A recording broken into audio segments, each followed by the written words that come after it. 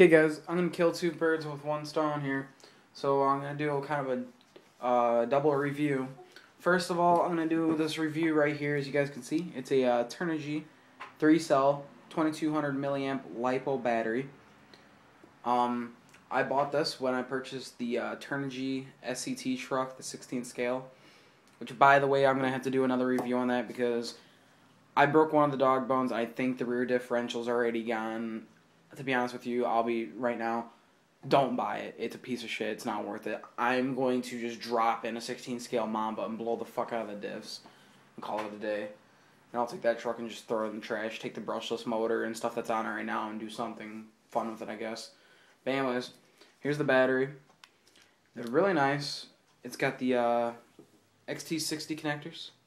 I don't know if you guys can see that very well. It's got the XT60 connectors. Overall, really good battery. Doesn't get warm, surprisingly. It takes a beating a little bit. It's pretty dirty. I don't know if you guys can really see it's dirty. But it's a little dirty, dusty, because I've been running it in the truck. But that's the battery. It runs great. Good for the price. It was like 8 bucks on the website. And here is a Sky RC E3 LiPo charger. Handles 2 and 3S LiPo.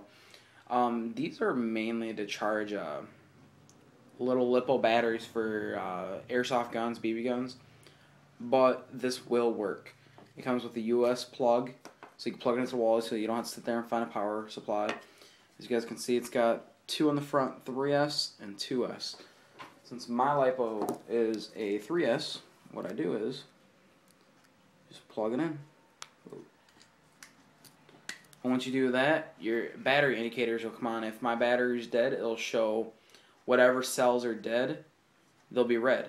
But when you first plug this in, when you don't have anything plugged in besides the power cord, they'll be flashing green and red.